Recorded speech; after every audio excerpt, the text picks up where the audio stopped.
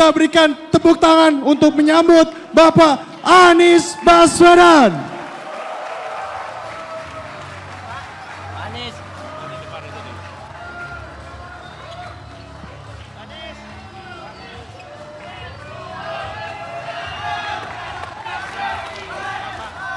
Selamat siang, Abang. Ya. Tunggu, tunggu, tunggu. Pak Anies, apa kabarnya? Alhamdulillah baik. Karena ini di Sumatera Utara, Bang, boleh nggak kita panggil Abang untuk menyapa teman-teman yang ada di depan? Horas. Horas. Yang di sisi sini, Abang, kita sapa dulu, Ya, Bang. yuk. Selamat Yang sore semuanya. Assalamualaikum warahmatullahi wabarakatuh. Alhamdulillah senang sekali akhirnya bisa kembali ke Medan dan pertama kali nih saya masuk di post blok ini. Apalagi kumpul dengan teman-teman muda di sini. Lihat senyumnya semuanya cerah ini tempat ini. Insya Allah tanda anak muda Medan penuh semangat. Dan gak cuma semangat Pak. Di sini semua Bang sudah siap mendesak Abang untuk menjawab pertanyaan-pertanyaan yang kita himpun Bang. Iya, dari saya ini udah Instagram. bertahun-tahun didesak, desak, desak terus. Ke sini dapat desak-desak lagi gitu. Dipikir kalau di sini agak longgar gitu. Mudah-mudahan nanti agak longgar ya. gitu.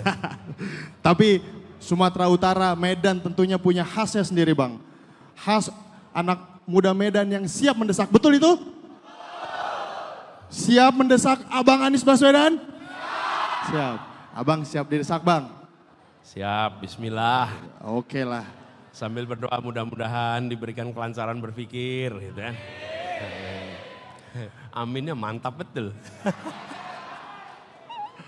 Oke, kalau itu mau abang, kita akan segera masuk ke segmen pertama, yaitu Gimana Nis?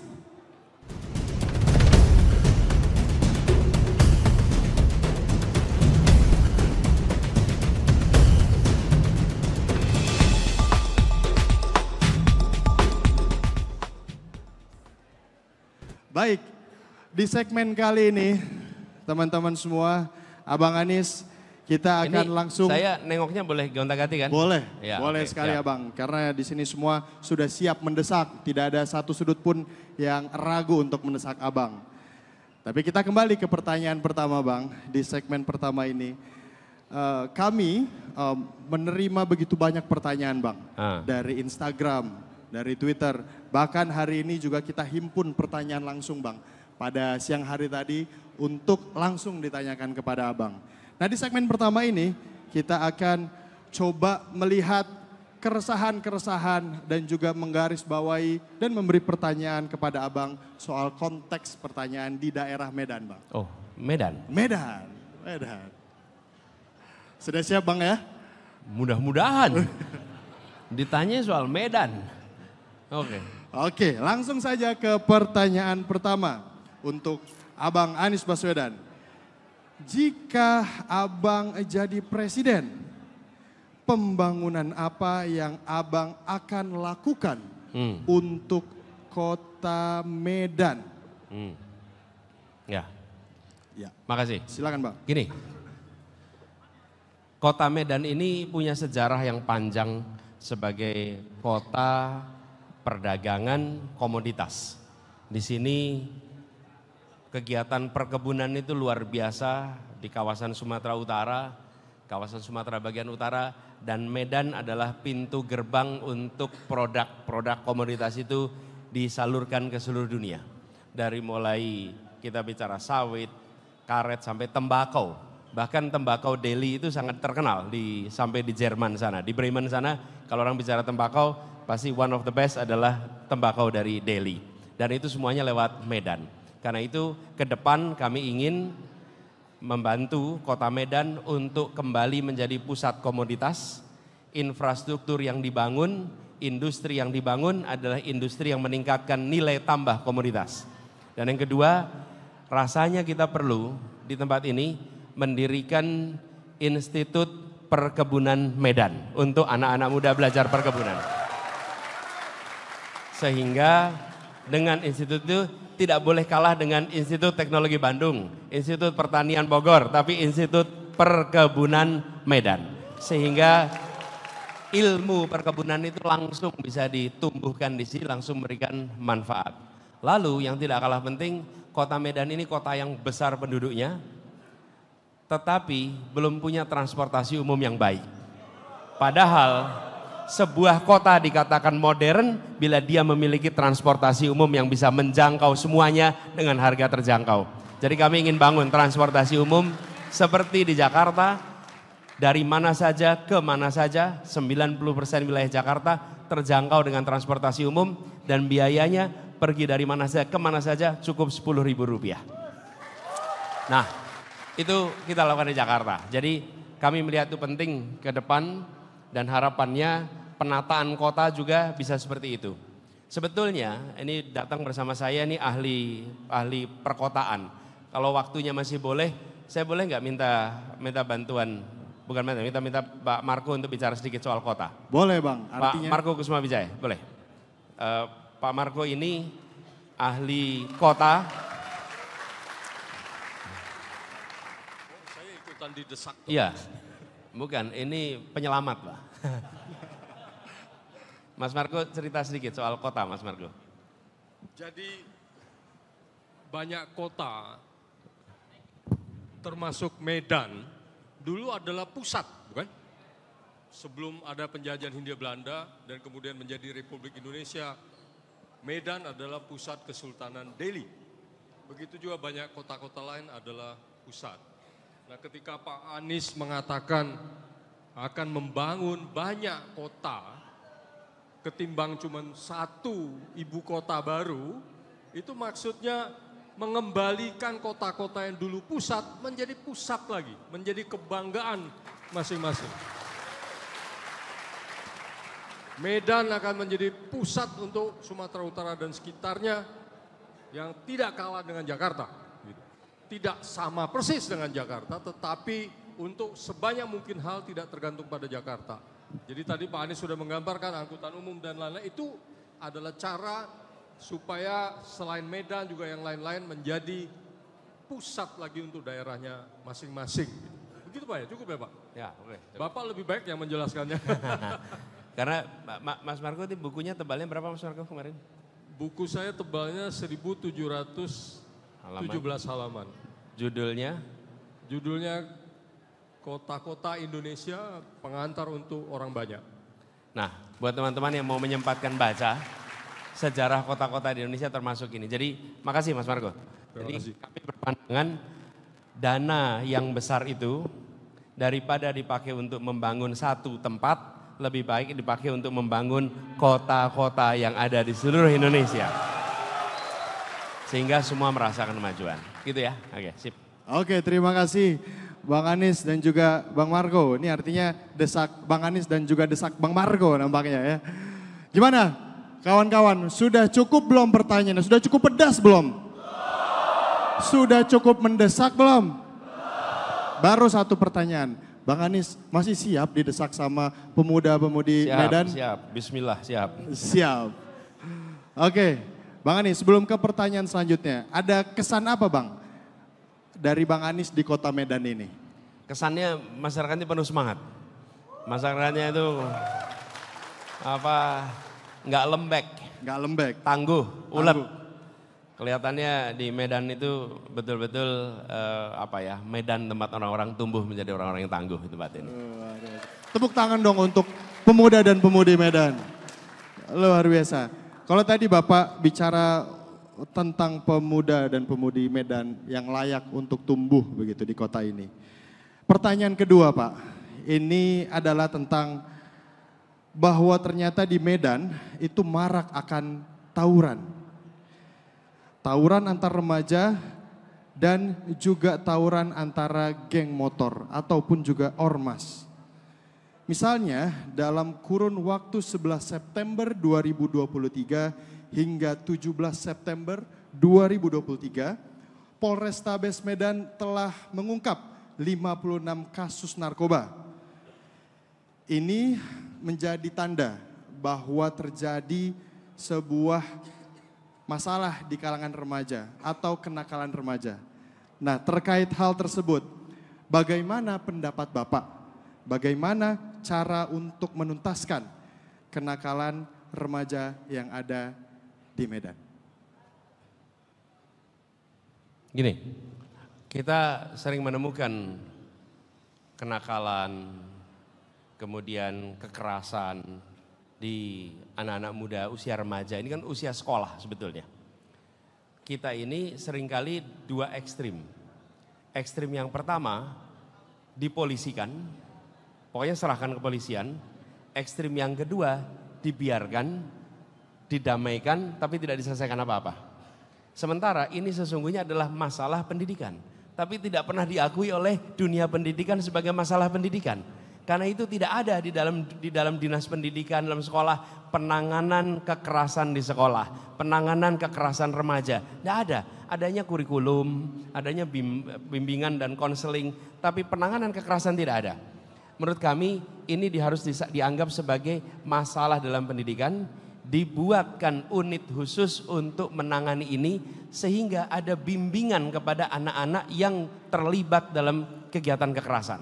Karena solusinya itu bukan semata-mata dibawa pada proses hukum. Kalau bawa proses hukum akhirnya dia masuk dalam lingkaran setan yang ujungnya bisa menjadi anak yang lebih bermasalah lagi. Tapi kalau dibiarkan begitu saja hanya sekedar didamaikan, dia tidak menyelesaikan masalah. Bahkan kami menganggap kalau ada anak-anak yang terlibat begini, maka sekolah tidak boleh memberhentikan. Tidak boleh anak dikeluarkan dari sekolah. Lah anak ini bulu pendidikan kok malah dikeluarkan dari dunia pendidikan. Justru dia harus ditambah pendidikannya, harus tambah bimbingannya, bukan malah dikeluarkan. Kemudian dari unit ini dilakukan pembinaan, libatkan psikolog, libatkan orang-orang yang ahli parenting untuk mendampingi siapa? Mendampingi anaknya, mendampingi orang tuanya, mendampingi gurunya. Dan ini bisa dikerjakan karena pernah terjadi di banyak tempat yang lain. Begitu ada unit itu, maka kita tahu siapa yang bertanggung jawab, apa langkah yang dikerjakan. Kalau hari ini, statistik yang tadi disampaikan, kalau saya tanya, siapa yang tanggung jawab untuk memperbaikinya? Bingung. Wali kota bukan, polisi bukan, ke dinas pendidikan bukan, kepala sekolah bukan. Ditanya siapa aja yang tanggung jawab atas ini, gak bisa jawab kita. Karena kita tidak memiliki satu unit khusus untuk menangani. Begitu ada unit khusus, maka kita tahu siapa yang bertanggung jawab, kita bisa berikan KPI dan dia dipaksa oleh publik untuk menyelesaikan persoalan ini di Medan. Begitu jawabannya. Oke, luar biasa. Gimana jawabannya? Masih mau dilanjut ya? Oke. Abang Anis, kita akan lanjut ke pertanyaan selanjutnya. Pertanyaan selanjutnya adalah menurut data PPATK selama periode 2017 hingga 2022 ada sekitar 157 juta transaksi judi online di Indonesia hmm. dengan total perputaran uang mencapai 190 triliun.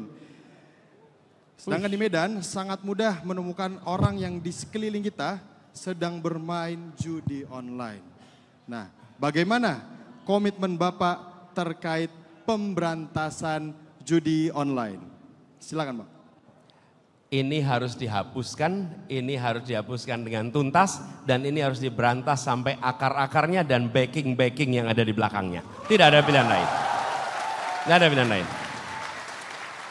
Ini adalah sebuah permainan yang memiskinkan yang sudah lemah. Tidak ada peserta judi online itu yang luar biasa makmur, tidak ada. Yang ada adalah mereka yang berada dalam status ekonomi lemah, melihat ini seakan-akan sebagai harapan. Dan itu harapan semu yang kemudian seperti fata morgana. Terlihat dari jauh ada, didekati hilang, didekati hilang, dekati hilang. Jadi tidak ada pilihan lain bagi negara untuk dituntaskan. Ini menurut saya begitu. Lalu kami memandang, tapi saya mau tanya sebentar, di sini yang pernah ikut judi online ada nggak? Oh berat berat berat, jangan ngangkat tangan temannya.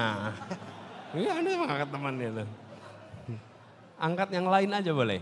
Jadi itu, tapi penanganan teknisnya, penanganan teknisnya itu membutuhkan, saya membutuhkan orang-orang yang mengerti juga terkait teknisnya, terkait teknis soal itu. Saya lupa memperkenalkan, saya datang di sini ditemani Pak Tom Lembong. Pak Tom Lembong, boleh berdiri Pak Tom Lembong. Pak Pak Tom ini mantan Menteri Perdagangan dan mantan Kepala BKPM. Lalu yang kedua saya temani Pak Leon. Mari Pak Leon, berdiri.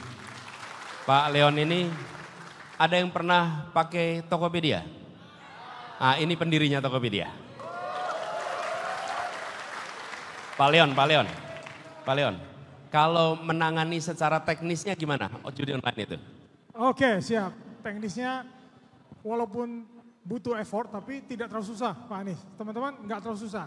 Jadi saya eh, pengalaman saya di Tokopedia saya memang concern banget tentang fraud, tentang anti security. Jadi itu, Penipuan, itu di ya? bawah saya itu. Jadi fraud dan penipuan. Nah jadi sebenarnya intinya itu yang pertama harus ada kemauan Pak. Nah ini yang harus kita Dah, tanya. kalau kemauannya udah ada tadi. Kemauan Sampai- sudah ada, Pak Anies Ya. sudah jelaskan, clear banget kemauannya sudah ada ya. Jadi kita itu butuh people, proses, teknologi. Nah, people kita sudah ada. Jadi kita banyak sekali ya engineer-engineers di Indonesia yang tinggal kita kumpulkan saja, mereka itu ahli banget masuk. Nah, prosesnya nih, prosesnya biasanya ada tiga tahap. Yang pertama kita bikin yang namanya rule engine. Rule engine itu uh, apa aturan-aturan sebenarnya ini langkah paling simple. Jadi jika aturannya begini, jika memenuhi syarat-syarat begini, kita bisa block. Kita bisa ngobrol dengan ISP, kita bisa block itu semua. Nah yang kedua, rule engine itu sebenarnya paling gampang di bypass. Ya, paling gampang dilewatin. Nah yang kedua itu sekarang zamannya big data, jadi kita bisa kumpulin uh, data, kita kumpulin pattern. Nah kita lakukan pattern recognition, nah itu kita bisa block juga. Itu lebih lebih otomatis caranya. Nah tapi yang namanya manusia tetap akan kucing-kucingan dengan sistem. Yang ketiga adalah partisipasi masyarakat sebenarnya. Nah ini kita sudah lakukan. Sebenarnya banyak sekali kanal-kanal laporan Pak. Dan di dunia teknologi itu ada yang namanya Project Honeypot misalnya. Project Honeypot itu semua orang berkumpul uh, menyumbangkan informasi-informasi sehingga bukan hanya pemerintah yang bisa proaktif tapi pemerintah itu mendapatkan informasi dari semua masyarakat mereka akan laporkan makanya namanya honeypot ya uh, uh, kayak pot yang isinya itu madu gitu kan nah informasi itu kita bisa pakai untuk memperkaya engine yang kita itu tadi nah I jadi see. sebenarnya simple gitu yang penting ada kemauan dan ada komitmen dari Pak Anies dan uh, Pak Muhaimin yang sudah sangat jelas dan gamblang dijelaskan. Engineeringnya mudah dikerjakan. Iya, bisa Siap, Pak. oke. Thank you. Mbak Leon. Sebetulnya kita selalu yakin, if there is a will, there is a way. Kalau ada kemauan, maka akan ada jalannya. Akan ada jalannya. Oke bang, kita tunggu komitmennya bila Siap. mana itu diamanahi ke abang. Semoga dapat menuntaskan Insya hal Allah. tersebut dengan cara-cara yang tadi sudah jelas disampaikan. Kita tunggu komitmennya bang. Siap. Baik, selanjutnya Bang Anies. Hari ini kita ketahui bersama 4 Desember. Biasanya dirayakan. 3 Desember. 3 3 Desember. Iya, 3 Desember, maaf. Ya, 3 Desember biasanya kita rayakan atau dunia internasional jadikan ini sebagai Hari Disabilitas Internasional. Nah, ke depan bagaimana program-program untuk para penyandang disabilitas yang akan Bapak bawa? Ya. Silakan. Begini, penyandang disabilitas harus mendapatkan perlakuan yang setara. Mereka memiliki hak yang sama dengan warga negara yang lain. Itu prinsip dasarnya. Bahkan kami melihat negara harus memberikan perhatian pada empat kelompok, bukan hanya penyandang disabilitas. Bila empat kelompok ini dapat perhatian oleh negara, yang lainnya insya Allah aman.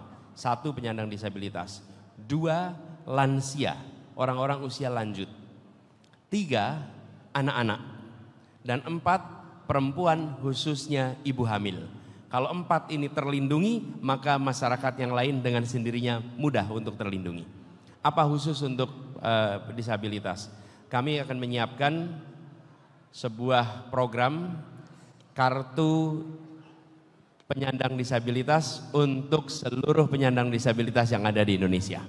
Dengan kartu itu mereka akan mendapatkan kemudahan di dalam pengurusan apa pun. Mereka bisa membypass semua antrian bila mereka harus mendapatkan pelayanan maka mereka mendapatkan prioritas. Dan yang tidak kalah penting, kami melihat perlu ada dukungan fiskal. Apa itu dukungan fiskal? Pengurangan pajak, pengurangan listrik, pengurangan biaya transportasi untuk para penyandang disabilitas sehingga beban hidup mereka itu menjadi lebih rendah. Yang ketiga, ini yang sudah kami kerjakan di Jakarta. Semua rekrutmen pegawai pemerintah maka harus memberikan minimal satu persen untuk penyandang disabilitas. Sehingga penyandang disabilitas akan memiliki kesempatan kerja yang sama. Kami lakukan itu di Jakarta dan apa yang terjadi Alhamdulillah kita kemudian memberikan kesempatan yang sama pada para penyandang disabilitas. Itu sudah dikerjakan di Jakarta, insya Allah itu akan dikerjakan lebih luas lagi di seluruh Indonesia. Oke Bang Anies. Gimana teman-teman, masih ingin mendesak? Oke, kalau tadi kita sudah memberikan pertanyaan-pertanyaan Bang Anies, selanjutnya kita akan memasuki segmen kedua. Segmen kedua ini adalah segmen Spill dong Nis. Spill dong Nis.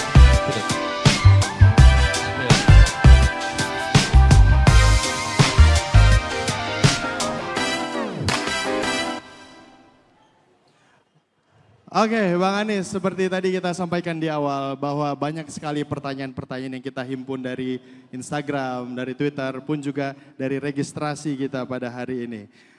Di segmen kedua ini kita akan langsung bacakan pertanyaan-pertanyaan yang masuk Bang. Dan tanpa berlama-lama lagi saya akan coba menyapa sekaligus juga menampilkan pertanyaan yang pertama masuk ke segmen kedua ini. Yaitu dari Instagram Ubah Bareng Pak. Dari? Dari at SPDWII28. Nah, SPDWII 28. Pertanyaannya adalah, ini karena pemuda-pemuda sumut itu kan maunya yang konkret Pak.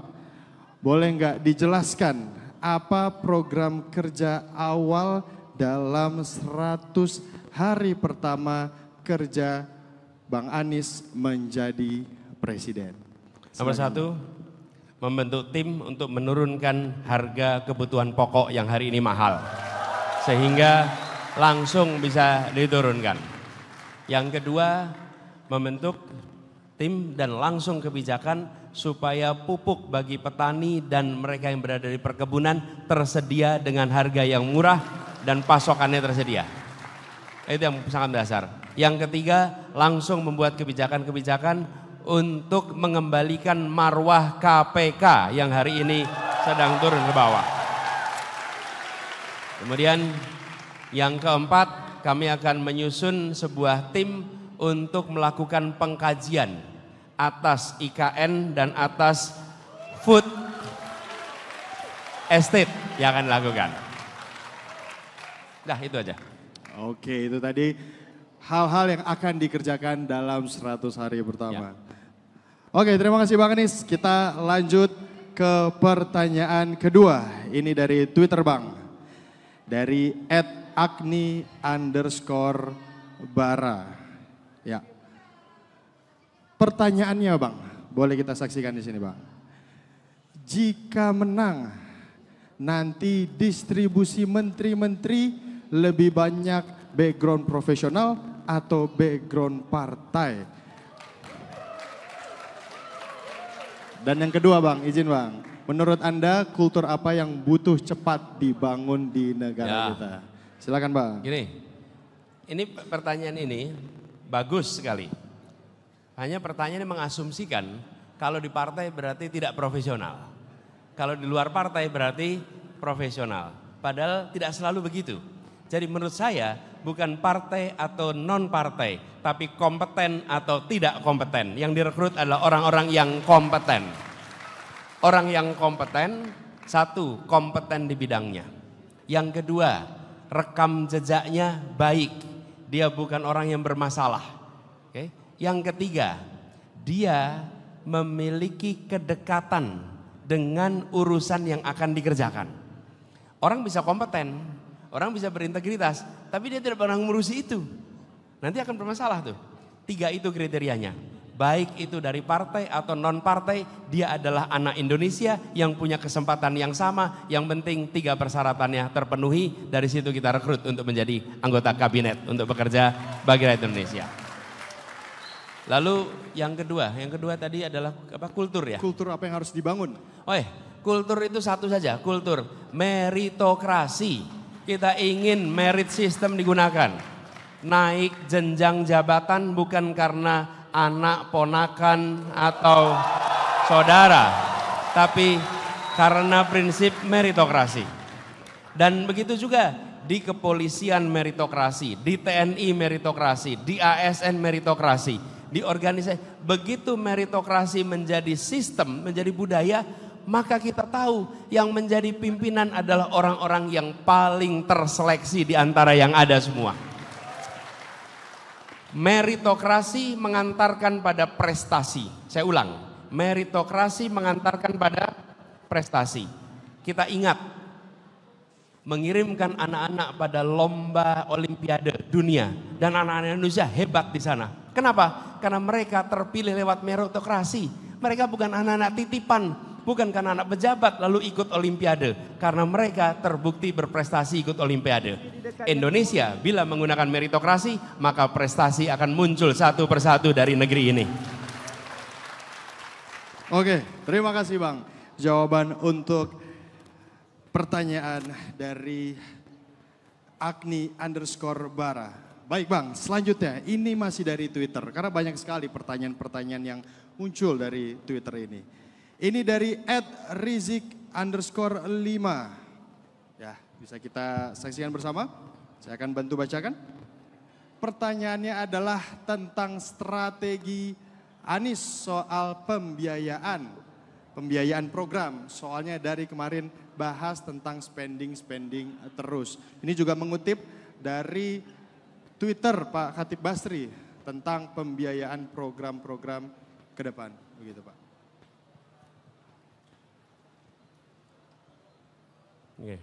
Ya, saya setuju dengan apa yang dikatakan oleh Pak Khatib Basri. Kita harus meningkatkan tax rasio kita. Jadi untuk bisa membiayai program-program yang begitu banyak, ada dua pendekatan. Satu dengan meningkatkan revenue pemerintah. Peningkatannya lewat apa? Pajak, tax rasio kita ditingkatkan. Yang kedua, dan ini tersembunyi, menutup kebocoran-kebocoran yang ada begitu banyak di negeri ini. Dari cukai, dari pendapatan-pendapatan non pajak yang itu banyak sekali yang bocor, itu harus dibereskan. Tapi yang tidak kalah penting adalah reform administrasi. Sehingga kita bisa mendapatkan pendapatan pajak yang lebih luas. Bukan saja meningkatkan pajak bagi pembayar pajak yang ada, tapi juga mereka-mereka yang hari ini belum masuk itu termasukkan di dalam administrasi perpajakan. Pak Tom, kalau boleh Pak Tom ikut komentar Pak Tom. Ini mantan, ini ekonom, uh, pantas untuk ngobrol lebih jauh. Terima kasih Pak Anies. Jadi betul sekali teman-teman, tidak ada pilihan lain, rasio pajak harus naik. Tapi, tapi itu bukan sumber utama untuk Ah. pembiayaan janji-janji kampanye kita. Memang ada di visi misi kita, rasio pajak harus naik pelan-pelan. Ya, dua paslon sebelah, teman-teman, mau naikin rasio pajak langsung dua kali lipat dalam lima tahun. Mau pajak naik, naik dua kali lipat dalam lima tahun, ya kan? Di saat harga kebutuhan pokok lagi marah, mahal, di saat rakyat lagi susah, ya. Jadi memang kita mau naikin rasio pajak pelan-pelan, ya. Tapi kedua begini, teman-teman, ini saya sering menyesal Pak Anies. Pejabat kita sekarang udah kekurangan imajinasi. Ya, jadi sebetulnya banyak orang nggak sadar di saat yang sama APBN kita lagi ngos-ngosan, ada dana nganggur ribuan triliun di perbankan kita. Ada dana nganggur ribuan triliun di lembaga asuransi dan dana pensiun. Ya tapi pemerintah tidak mengurus bagaimana menjembatani apa menyalurkan dana-dana tersebut ribuan triliun ya dari perbankan, asuransi, dana pensiun ke proyek infrastruktur dan pendanaan program-program. Ya, ini pada dasarnya. Terima kasih. Oke, makasih Pak Tom. Jadi saya rasa solusi dari soal pembiayaan ini adalah kemauan untuk berpikir kreatif, kemauan untuk melihat peluang yang selama ini mungkin terlewatkan. Di situlah pentingnya ada pembaharuan. Kalau ada perubahan maka ada orang baru, orang baru akan bisa melihat yang sebelumnya tidak terlihat gitu. Oke, terima kasih Bang.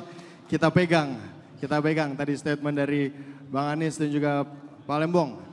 Selanjutnya Bang, ini masih akan ada pertanyaan. Kalau tadi datang dari Twitter Bang, kalau sekarang ini kita datang dari Google Form yang sudah terkumpulkan eh, pada siang hari ini. Pertanyaan ini langsung dari pemuda Medan, Bang yang datang dari Syauki Aditya. Ada Syauki Aditya di sini? Syauki Aditya? Oke, pertanyaannya Bang. Apa langkah Anies Baswedan untuk menciptakan keamanan siswa dari kekerasan seksual yang berada di lingkungan sekolah? Sebetulnya tadi saya sempat jelaskan. Menurut hemat saya, di tiap sekolah harus dibentuk sebuah unit pencegahan kekerasan. Sebenarnya dulu sudah keluar peraturan Mendikbudnya ketika saya bertugas sebagai Mendikbud. Di setiap sekolah ada dan di situ ada penanggung jawabnya, anggotanya terdiri dari unsur guru, unsur siswa, unsur orang tua, unsur ahli psikologi, dan unsur masyarakat.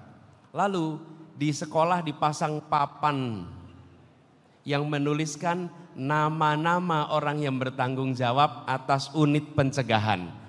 Nomor telepon mereka bisa dihubungi di mana saja sehingga kalau ada kekerasan orang tahu ke mana harus melaporkan. Sekarang coba bayangkan, Anda mengalami kekerasan di sekolah, tahu nggak mau lapor ke mana? Lapornya aja nggak tahu. Mau lapor ke kepala sekolah belum tentu berani, lapor ke guru belum tentu berani, lapor ke polisi salah, lapor ke orang tua, orang tahu tidak tahu harus ke mana. Itu tadi, urusan ini tidak dianggap sebagai urusan pendidikan. Sehingga tidak disiapkan unitnya. Begitu ada unitnya, ketika Anda ada masalah, Anda tahu siapa yang bertanggung jawab. Dan kemudian itu diselesaikan juga di tingkat kota, sehingga ketika ada masalah ada dukungan dari kota. Dengan cara seperti itu maka korban bisa lapor, korban bisa dibantu, dan korban akan mendapatkan perlindungan. Itu yang paling penting. Terima kasih. Oke bang, kalau tadi kita sudah membahas mulai dari 100 hari pertama, kemudian juga masuk tentang isu domestik, kekerasan uh, seksual di sekolah. Nah ini ada pertanyaan menarik lagi bang, yang kita kutip dari Instagram yang sudah masuk. Ini pertanyaan dari @bagus underscore rzk. Ah ini bang. Pak Anies, kenapa baliho Bapak yang paling minimal atau sedikit dibanding dua calon lain Pak? Ini bagaimana Pak? Silakan Bang.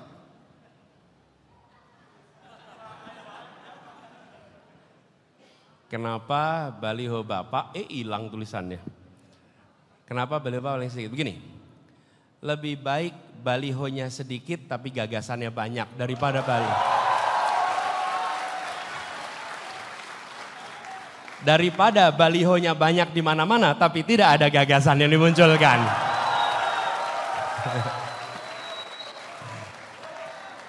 Dah cukup 15 detik jawabnya selesai. Nggak ada tambahannya lagi nih Pak. Ya cukup, cukup, cukup. Udah jelas lah gitu.